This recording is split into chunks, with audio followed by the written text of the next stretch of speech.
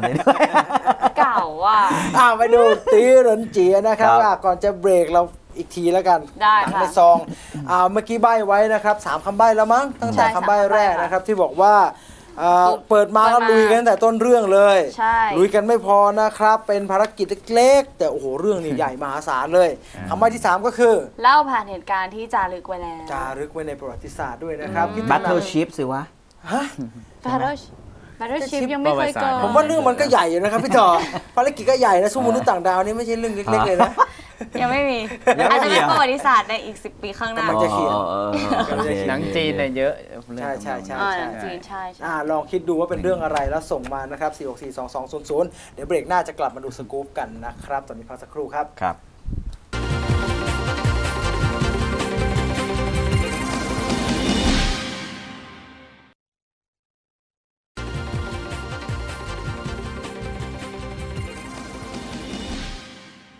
ยังอยู่ด้วยกันในวิวไฟเดอร์นะคะ ซึ่งช่วงนี้ค่ะ เรามีสกูปพิเศษค่ะ ถึงพี่ที่มีชื่อว่าปู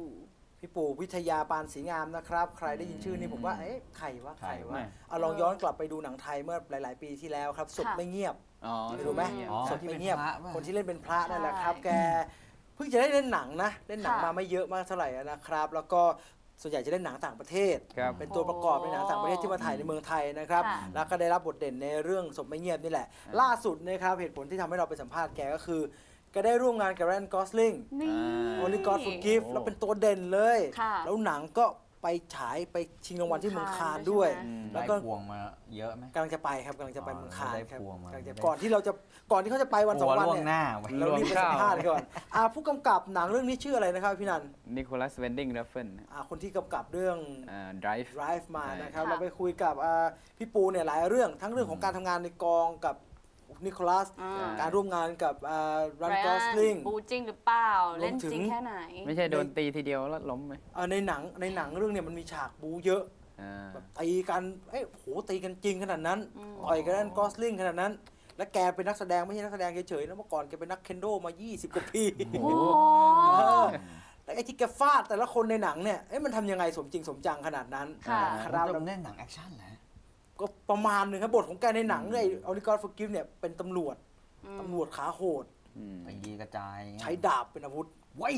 ดาบเลเขายเห็นอะไรเขาก็ใช้เป็นอาวุธได้เอาจริงเออดาบมาแต่ขาโหดอะไออาวุธที่เขาถือประจำเนี่ย คือเขามีอยู่ที่บ้านเนี่ยผมไปชับดาบที่เขาจะได้เล่นมา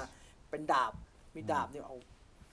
โอ้มันมันโหดถึงขนาดที่ว่าพระเจ้าเท่านั้นที่ให้อภัยมันได้คนเดียว เป็นดาบไทยนะเป็นดาบไทยครับไอ้ย่าเป็นดาบไทย จาพนมจะหนาวคราวเนี้ยอ่าเป็นอย่างไรไม่ใช่นะครับทำอะไรนะอ่าเป็นอย่างบทสัมภาษณ์ครั้งนี้เป็นยังไงไปชมพร้อมกันเลยครับ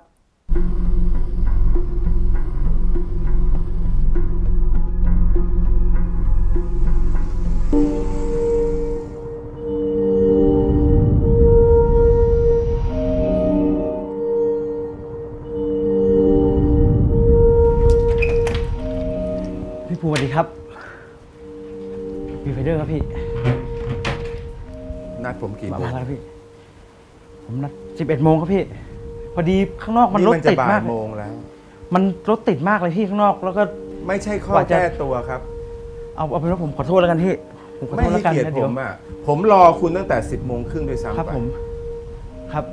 มันมันวุ่นวายมากเลยพี่ข้างนอกแล้วกว่าจะผมมาบอถึกงแล้วกว่าไม่จะใช่หาข้อเจอแก้ตัว ครับ ถ้าคุณนัดกับผมคุณต้องมาตามนัด ครับครับเอาผมผมใช้ไม่ขอได้ ผมขอโทษแล้วกันนะพี่นะ จะขอจะได้เริ่มโทษถ่ายนะครับ ครับครับคุณคิดดูว่าผมจะยกโทษให้คุณ ฮะคุณทำอย่างเงี้ยมันไม่ถูกเข้าใจไหมครับครับพี่ครับ ทำไม่ถูกเข้าใจไหม มีความฝันที่กว้างใหญ่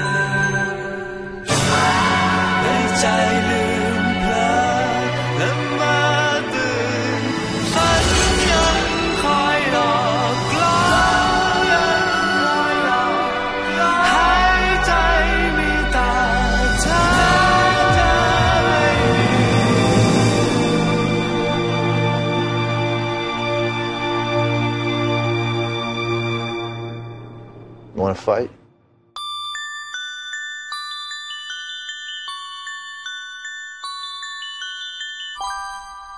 แล้วตอนนี้คุยกันอย่างเป็นเรื่องเป็นราวทีสวัสดีครับพี่ชูสวัสดีครับน้องจีนสวัสดีครัเมื่บอกี้ acting เฉยๆให้พี่ใช่ใช่เล็กน้อยเล็กน้อยตัวจริงไม่ได้โหดเหมือนในหนังใช่ไหมครับพี่ ไม่เลยครับไม่เลยครับ อะเราเห็นพี่ปู แสดงหนังเราเป็นนักแสดงเนี่ยมาอยู่หลาย ๆ เรื่องอย่างหลัก ๆ ที่เราเห็นชัด ๆ คือศพไม่เงียบอาตมาดึงศพขึ้นมาเอง แค่เด็กจรจัดถูกฆ่าตายเนี่ยมันไม่มีใครสนใจหรอกหลวงพ่อหลวงพ่อก็ลองสืบเองแล้วกันโดยส่วนตัวไม่ไม่ได้ไม่ได้เดินทางสายบันเทิงมาก่อนใช่ฮะเพียงแต่ว่าไปอยู่ต่างประเทศก็เรียนหนังสือปกติ แล้วก็ครับพผอมกลับมาเมืองไทย ก็ทำธุรกิจส่วนตัวอยู่ครัพับกหนึ่งแล้วก็เมื่อประมาณเกือบ 18 ปีที่แล้วเปิดโรงเรียนสอนบัลเล่ต์จริงๆเป็นเจ้าของโรงเรียนสอนบัลเล่ต์ครับนะเนี่ยแล้วก็เอิ่มเมื่อเพิ่งจะมาหันเข้าสู่วงการได้ประมาณไม่ถึง 5 ปีที่ผ่านมาเนี่ยพอดีมีเพื่อนสนิทท่านหนึ่งอะครับที่เราเอ่อไปร่วมสังสรรค์หรือว่าพบปะกับเพื่อนๆอย่างเงี้ยนะฮะแล้วเขาเอ่อรู้จักกับตากล้องชาวออสเตรเลียคนหนึ่งอ่าฮะซึ่งตอนนั้นเนี่ยตากล้องคนนี้เขาอยากจะทำหนังสั้นที่เกี่ยวกับ คดีฆาตกรรม ครับ แล้วก็ต้องการจะหาคาแรคเตอร์ของคนที่จะเป็นตำตำรวจสืบสวน ครับผม ในห้องสืบสวนคดีหนังครับ แค่ 8 นาทีฮะ ครับ ไม่รู้เป็นเพราะอะไรเขาเห็นคาแรคเตอร์พี่ปูแล้วก็บอกว่า เอ๊ะ คุณพอจะมาเล่นหนังเป็นตำรวจในหนังสั้นของผมได้ไหม เป็นตำรวจครับ ทำไมพี่พี่เหมือนตำรวจเลยฮะ เพราะว่าเราเราเห็นไอ้ o l i g o t Forgive ที่ที่กำลังจะฉายเนี่ย ฮะฮะพี่ปูก็เล่นเป็นตำรวจครับ รำพันศพไม่เงียบเนี่ยเราเห็นเล่นเป็นพระก็เถอะแต่ว่าเป็นพระที่เป็นพระเคยเป็นตำรวจมาก่อนใช่ครับ ก็ก็ไม่แน่ไม่แน่ใจนะฮะอาจจะเป็นเรื่องของรูปร่างหน้าตาด้วยหรือเปล่านะฮะอ่า หรือว่าลักษณะท่าทางเพราะว่าก็ต้องบอกตามตรงบางครั้งนี่ไปเดินแถวพันทิพย์เนี่ย เขาเก็บแผงหนีเร็วมาก เราก็จะสงสัยมากว่าจะไปหาซื้อแผ่นการ์ตูนนั้นให้ลูกท่านหน่อยก็ยังซื้อไม่ได้บางครั้ง ไอ้ไอ้กองที่มันเป็นหนังต่างประเทศเนี่ยธรรมชาติการทำงานเขาเป็นยังไงพี่ ก็ถ้าที่เห็นชัดเจนนะครับก็เรื่องเป็นเรื่องแน่นอนทุกกองเนี่ยต้องมีเรื่องของการ pre-production หรือการเตรียมตัวอยู่แล้ครัวบผม นะฮะเอ่อสิ่งที่เราเห็นมากไปกว่านั้นนี่จะเป็นเรื่องของการวางแผน การจัดตารางเวลาการทำงานนะครับเอ่อค่อนข้างจะเที่ยงตรง แม่นยำ ไม่มาสายครับนะครับ ไม่ผิดนัดนะฮะอะไรประมาณนั้นนะฮะผมเข้าใจผมนะครับ เข้าใจครับพี่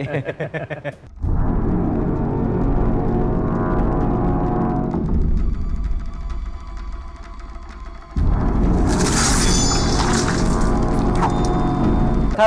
เอาอย่าง Only God Forgive ล่าสุดที่ครัพี่บปูเล่นเป็นนักแสดงนำด้วยครับใช่ไหมฮะ ตัวนี้ก็กำลังจะฉาย ครับ โปรเจกต์นี้ เข้ามาถึงตัวเราตอนปีไหนพี่ เป็นเส้นทางที่ค่อนข้างจะยาวนานพอสมควรตอนเนี่ยปี 2013 ที่กำลังจะฉาย ครับเอ่อเรื่องที่ที่น่าสนใจคืออย่างนี้ครับเพราะเอ่อตอนที่พี่เริ่มที่จะเข้าสู่วงการเนี่ยตอนนั้นครับ ก็เกือบจะวัยเกือบจะ 50 แล้วนะครับผม พี่ก็ไปบวชนะฮะอ่าฮะเริ่มจากการที่ศึกออกจากศึกออกมาก่อนครับ เนี่ยนะฮะพอศึกออกมาปุ๊บเนี่ยเอ่อก็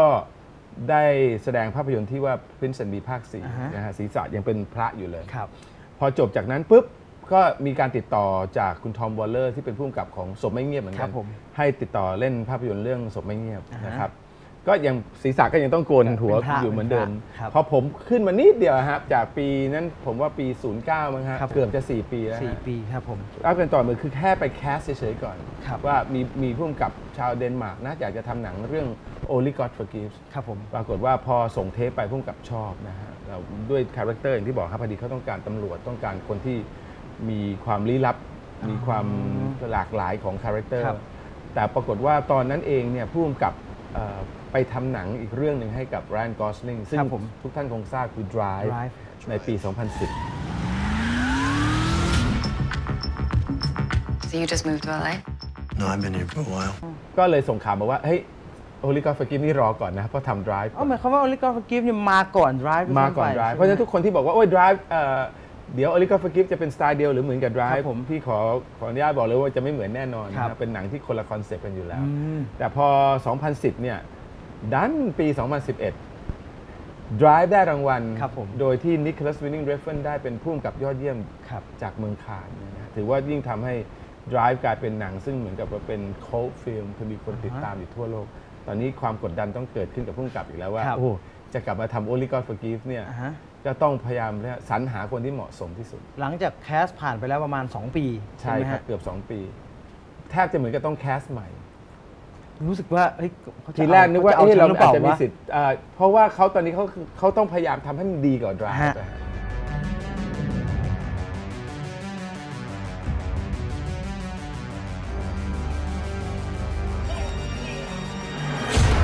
หนังเรื่องนี้ถ่ายเมืองไทยทั้งเรื่อง100%ใช่ไหมครับฮะใช่ฮะใช้เวลาถ่ายจริงแค่ประมาณ 2 เดือนเองครับ แต่เตรียมงานนี่เกือบ5-6 เดือนอ่าช่วงเตรียมงานเนี่ยของเราต้องเตรียมอะไรเป็นพิเศษไหมฮะนอกจากลดน้ำหนัก ของพี่นี่มี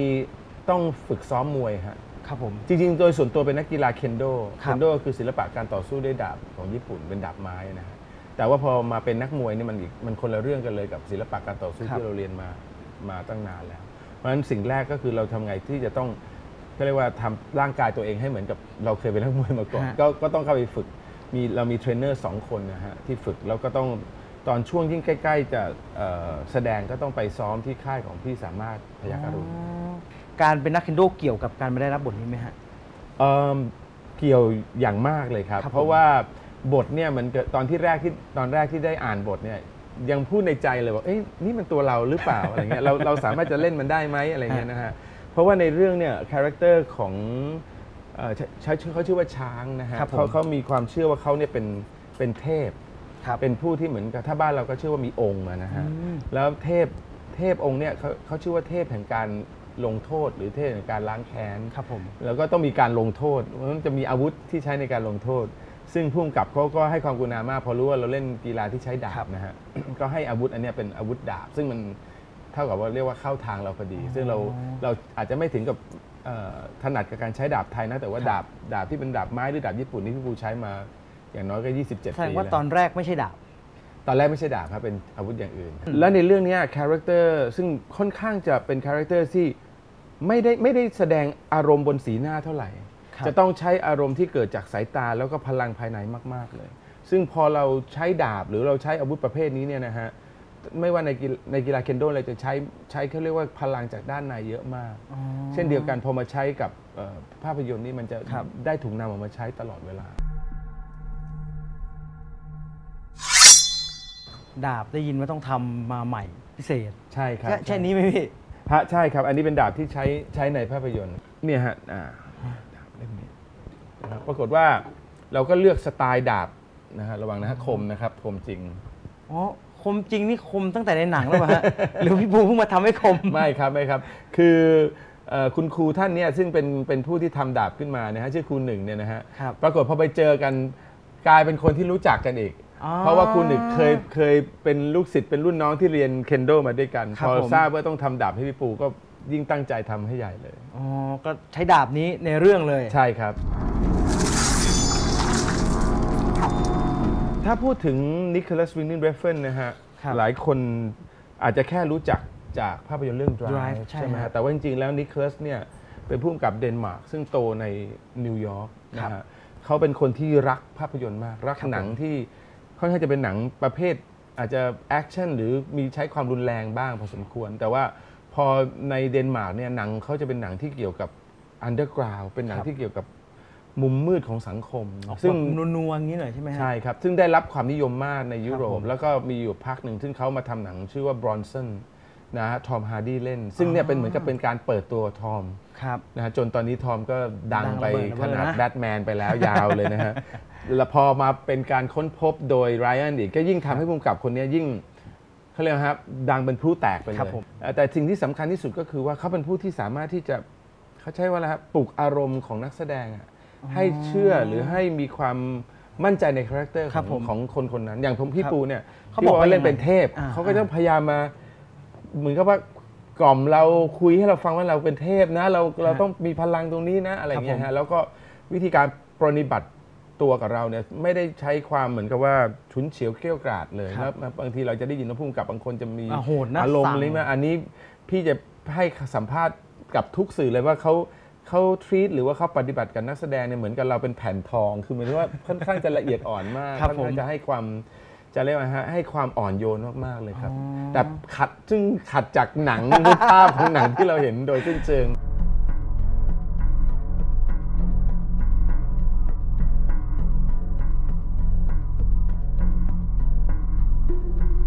ด้วยความที่ว่าเวลาเราถ่ายเนี่ยเทคเยอะมากครับพุ่มกับคนนี้นี่ 10เทค15เทคเป็นเรื่องปกติ ปกติ ใช่ครับ คือเขาบอกว่าดีแล้วเอาอีก ดีแล้วเอาอีก จนเราเราเราได้ยินเขาว่าดีแล้วล่ะเราก็บอกตัวเองอย่ามาหลอกฉันเลยเดี๋ยวคุณจะถ่ายอีก ก็เป็นงั้นจริงๆคือนะเทคครับจนจนไอ้ที่โอ้วิ่งวิ่งกันจน วันนั้นวิ่งไปก็ป่วยไป 5 วันนะครับ กล้ามเนื้ออักเสบไปเลย เพราะว่าวิ่ง